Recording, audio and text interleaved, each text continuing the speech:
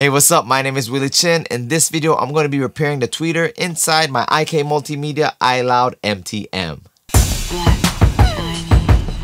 To my knowledge, I don't know if IK Multimedia sells replacement parts for this speaker. So I found this company in France that had the replacement. I guess it's a company that sells parts or they do repairs and they had the replacement tweeter. So I tried my luck and I bought one. So the good thing that happened for me was that the euro and the dollar is around the same price. So this thing only cost me around $50, including shipping.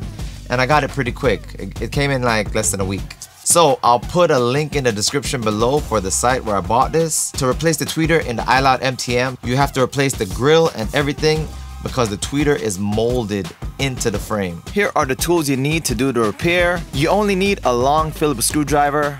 The other tools are optional. Alright, now for the fun part. Let's get right into the repair. First and foremost, remove the leg if you have it attached. Now we have to remove this sticker so we can access the screw holes on the back so we can take this thing apart. It definitely has a strong adhesive on there. I'm using this plastic pry tool to get the sticker up. This is optional, you could definitely use whatever you have access to. And now once you could actually grab the sticker, it's not too difficult to peel off. And just take your time, nice and easy removing it because we're to have to put this back on after. I suggest not to remove the sticker completely you just need to pull it enough to access all the screws. This way, when we're putting it back on, all the holes are gonna line up easily. Next, you're gonna need a fairly long Phillips screwdriver. That way you can remove the eight screws that are holding it together. After the screws are removed, it will open up very easily.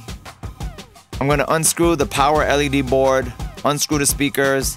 When removing the woofers, they have a little adhesive on there so just slightly rock it and pull it out. You don't want to damage it.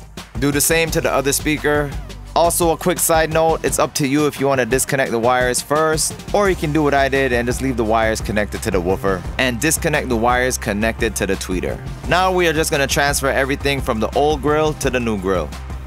After everything is screwed in, it's time to reassemble. Just line up your grill, hold it in place, flip it around, reinsert the screws. Now just reapply the sticker, try to line it up as best you can. It's gonna have a few wrinkles and attach your legs.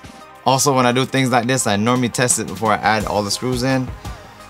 But I would say what's the worst that could happen? It was broken before I started and worst case scenario, the tweeter is still not working.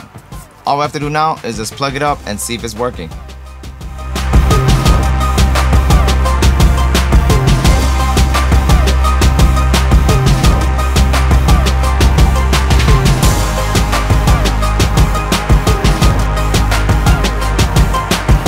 Well, that's it. My name is Willy Chin. Speakers are up and running and sounding good. My final thoughts this is a super simple job. All you really need is a screwdriver. You know what I'm saying? And everything else is plug and play. You don't need a soldering iron.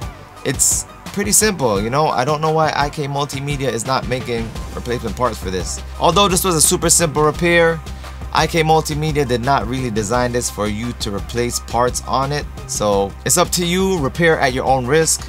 I would say this DIY fix is super easy and you can do it too. Well, that's it. I hope this video was helpful for you in your repairs. My name is Willy Chin. Don't forget to like, share, comment, and subscribe. Mod.